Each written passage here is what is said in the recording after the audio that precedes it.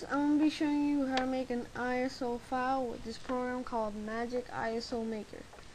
You know, download it. Download link is on the description. You just open it. It'll look something like that. Click uh, this little thing. I already did it, so I'm not going to do it right now. Use dragging, let's say you want to do it with a readme file. Well, with this file. You use dragging in there. And right here you just click the properties of the image.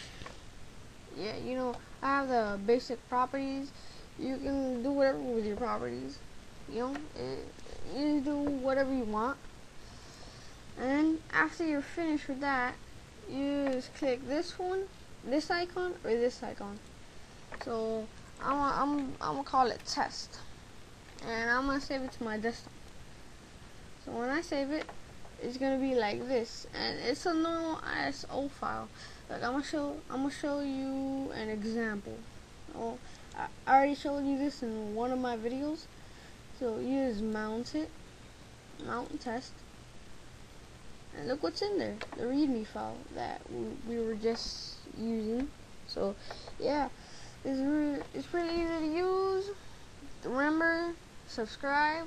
The to download this thing, to download Magic ISO Maker is on the description. Alright, well, see you.